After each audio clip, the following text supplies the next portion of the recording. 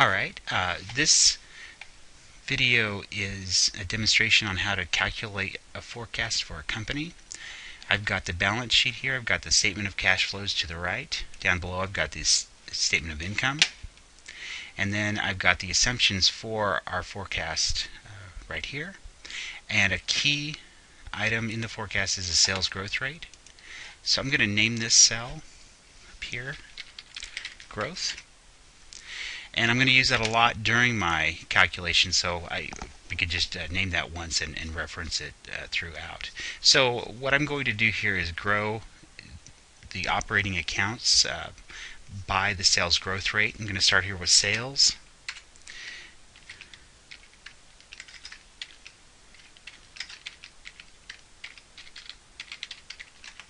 I'm going to also pull that down to give me my cost of goods sold and then my gross profit. Selling gen general and administrative expenses will also grow by the same rate as sales.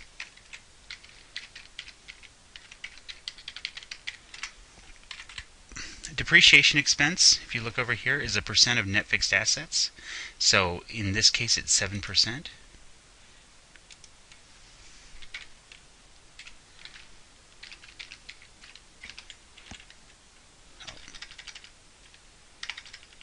So I'll go up to net fixed assets. For this year, notice that it's empty right now, but we'll add something in there later. Multiplied by the depreciation rate.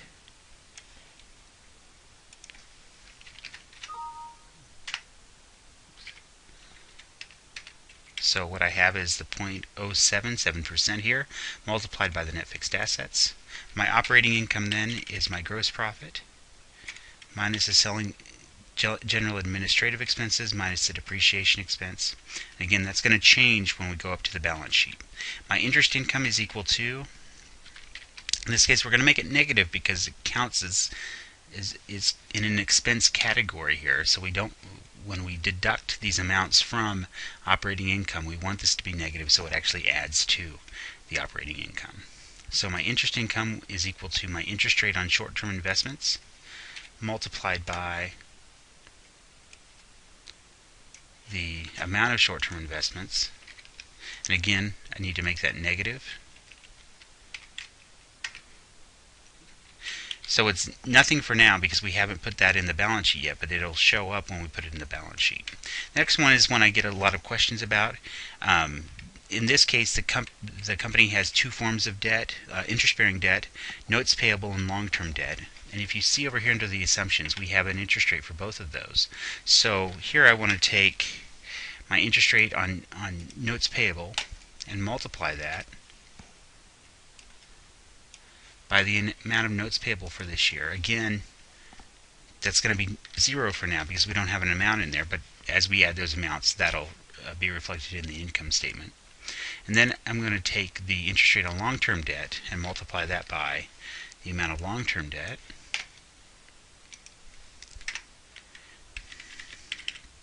Then my earnings before taxes are equal to the operating income minus the interest income, uh, the sum of the interest income and interest expense. My income tax expense is a percentage of my earnings before taxes. So this is equal to my effective tax rate over here of 26% multiplied by my earnings before taxes. And then my net income is equal to earnings before taxes minus the income tax expense. My dividend paid, my dividends paid is equal to the payout ratio multiplied by net income. And my addition to retained earnings is equal to my net income minus dividends paid.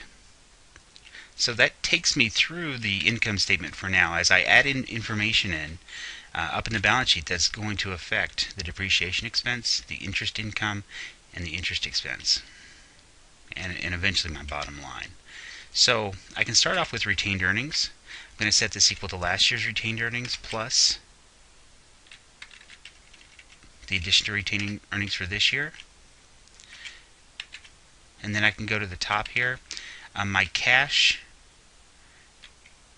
I don't have any assumptions down here for cash, so I'm going to expect that this is the cash that they need to generate sales. We see that uh, over the years this grows gradually with the amount of sales, so I'm going to assume that it's also going to grow with sales. So I'm going to set this equal to last year's uh, level of cash multiplied by 1 plus the growth rate. Short-term investments, I have an assumption down here that that's going to remain the same for 2013, so it's going to stay at 905. The accounts receivable I also expect to grow with sales. Um, if it doesn't, then we're assuming that it um, that the days sales outstanding is also changing. We're not going to make that assumption right now that the company wants to do that. We're just going to say that it's going to stay the same. The days sales outstanding is going to stay the same from one year to the next. Okay. And the same thing with inventory we're going to assume that the inventory uh, conversion days uh, is also staying the same from one year to the next. So we're going to grow that with sales. So take the sum of that to get my current assets. My net fixed assets we expect to grow at the same rate of sales, and that's pretty normal. A company needs to grow its net fixed assets if it expects to increase its revenues. So now below we've got a number for depreciation expense because we filled in that cell. Our depreciation expense for the year is $3,748.96. So the accumulated depreciation for this year, for 2013, would be last year's accumulated depreciation plus depreciation expense for this year. We're assuming that the company's not selling off any um, off any of its fixed assets. If it were, that that would affect that those accounts, but or would, that would affect accumulated depreciation and net fixed assets. But we're not making that assumption right now. The gross fixed assets then would be equal to the amount of accumulated depreciation plus the amount of net fixed assets. And then the intangible assets for the year, we have an assumption below that say they're going to stay the same. Actually, we don't have an assumption down below, but they're going to stay the same from year to year, and they and they usually do. So our total assets are going to be equal to the sum of the current assets, the net fixed assets. Don't include gross fixed assets and accumulated depreciation there because that would be double counting those. And then uh, the intangible assets. So we have total assets of 86,968.64. Our accounts payable and accrued expenses are referred to as spontaneously generated liabilities. They are operating accounts. They increase with sales. Again, we're going to assume that our payables deferral period is going to stay the same from one year to the next. So we're just going to grow those with sales. Our accrued expenses is the same thing. We're growing those with sales. And then our notes payable down below it says our notes payable we're maintaining at 1185.75 for the year. So our total current liabilities are equal to 408697. Our long-term debt we're going to come back to, that's going to be how we balance our balance sheet. The company's decided that any financing needs that they have uh, will be paid for by or be financed through taking out long-term debt. So our long, our total liabilities are equal to our current liabilities plus our long-term debt. Pretty low right now because we're going to have to come back through and add in the long-term debt um, here in a few minutes. Common stock is going to stay the same from one year to the next. That only changes if the company issues new equity, which is fairly unlikely for a company to do, or retires existing equity, which does happen sometimes. Uh, they'll, they'll repurchase some equity instead of putting it into treasury stock. They'll just retire the shares. Again, um, paid in capital in excess of par. The only things that would change that would be um, issuing new equity again, which is unlikely for a firm to do, or to retire, uh, repurchase and retire equity. We're not going to make the assumption that they're going to do that this year. Uh, that gives us total equity equal to 59,437.12. And so uh, at this point, we only have one thing left to do, all of our amounts down here are filled in. We've got interest income of 2082. We've got interest expense of 4980, which is much less than the uh, previous year's interest expense, and that's because we haven't included our um, long-term debt yet. When we do that, just to give you an example here, uh, I'm going to take, I call it additional funds needed. It doesn't fit your text de definition of this, but I'm, I'm looking at the difference between total assets and total li liabilities and owner's equity. So right now I see I've got my difference between the two of twenty-three, 23,444.55. If I just plug this in, 23,444.55, it doesn't balance. And the reason why it doesn't balance is because by adding that we in increase our interest expense which then decreases our addition to retained earnings, which creates a greater financing need, and that's referred to as a financing feedback. So how do I solve that? I'm going to delete this number for long-term debt. There's two options in, um, in Excel, and this is for most versions of Excel right now. We can use Solver, or we can use GoalSeek. I'll demonstrate each of them.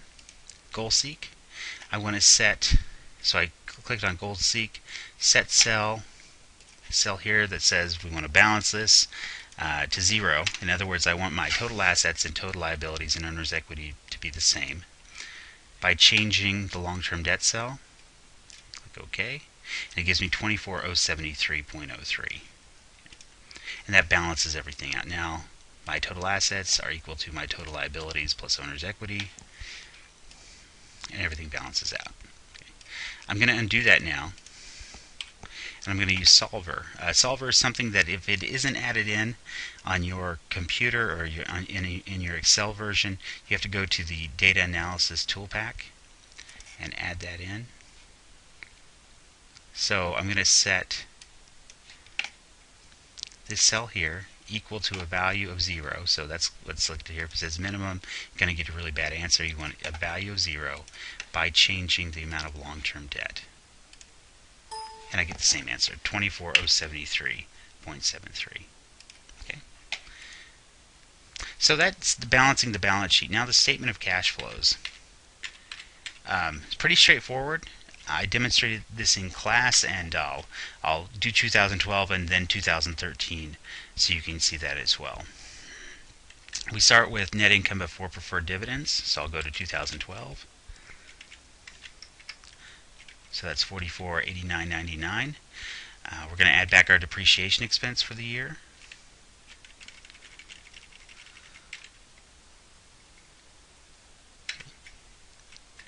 And then uh, the increase in accounts receivable. This is a an increase is a use of cash.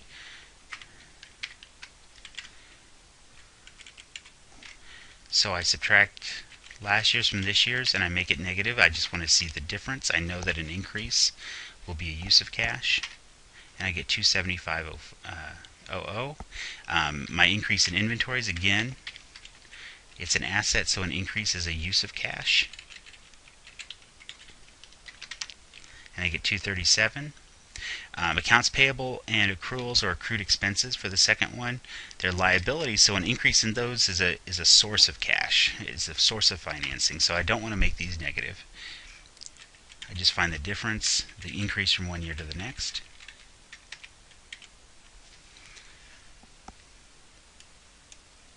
Okay, and I just drag that down because the next one below it is uh, uh, the accounts payable as accrued expenses. So my cash flows from operating activities, I just take the sum of these to get 7D707.99. The um, cash acquired to uh, cash used to acquire fixed assets would be equal to the difference, the change in gross fixed assets Again, because it's an increase, it's going to be a use of cash. So that would be negative. Uh, the reason why we don't use net fixed assets is we've already added back the depreciation up here, so we would be kind of counting that depreciation twice if we use that down below. Uh, short Sale of short-term investments. If we look at short-term investments for 2012, we actually increased it. So that's going to be a, a negative because it's a use of cash. We used an additional $5 this year, or in 2012, to um, increase our amount of short-term investments. We don't have any long-term investments, so that's zero. And the cash used for financing activities or investing activities is $7,235. For the financing activities, we get an increase in notes payable. That's a, a source of cash. So an increase in that would be a positive, an increase, or, or use, it, excuse me, a source of cash.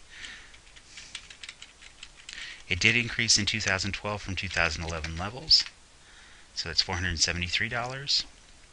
Uh, an increase in long-term and current portion of long-term debt. Again, if that increases, that's a, a source of cash. For 2012, it did increase.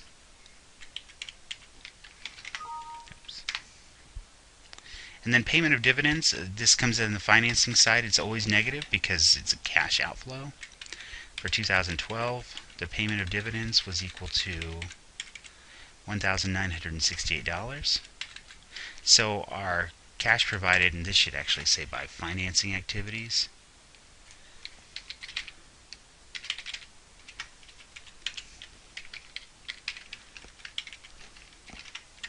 is $330.99 negative.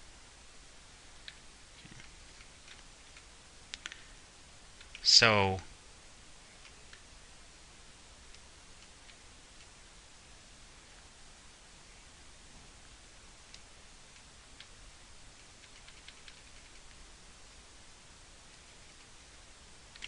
the net change in cash and cash equivalents is equal to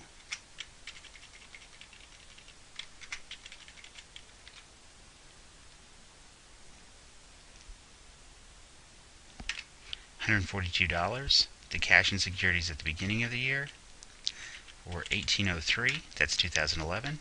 At the end of the year, I just add the two together, and I should match. So the cash and securities at the end of the year were 1945. 2012 was 1945. So my cash flow statement flows from one year to the next. And to make life easy, I can just grab this, pull it over here, and I'm a dollar. Oh, I'm a dollar off because that just added in there. And so you can see here um, the statement of cash flows balances from year to year. I didn't reference this cell anywhere in my statement of cash flows, so it's accurate. It, it goes through from one year to the next. And I hope that's helpful for your, your assignment and your project.